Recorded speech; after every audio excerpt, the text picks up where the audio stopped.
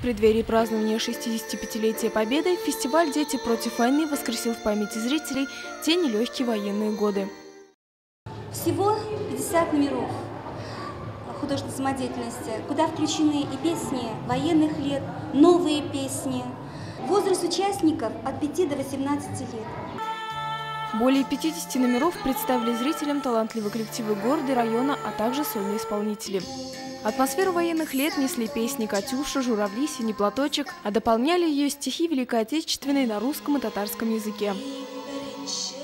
Мы должны знать, что только благодаря им мы сейчас живем в этой светлой стране.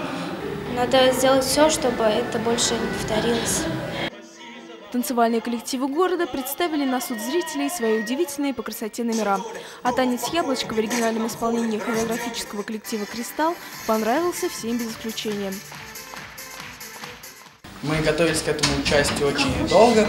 А, мы принимаем в этом мероприятии в таком большом, важном, а, потому как а, это дань и уважение ветеранам Великой Отечественной войны. Проведению столь масштабного мероприятия помогли многочисленные спонсоры и партнеры. Культурно-развлекательный центр «Максима» тоже в их числе. Молодежь Центр Максима очень благодарен организаторам и очень рад всегда поддержать такие мероприятия. А, большое вам спасибо, что не забываете память а, нашей Отечественной войны.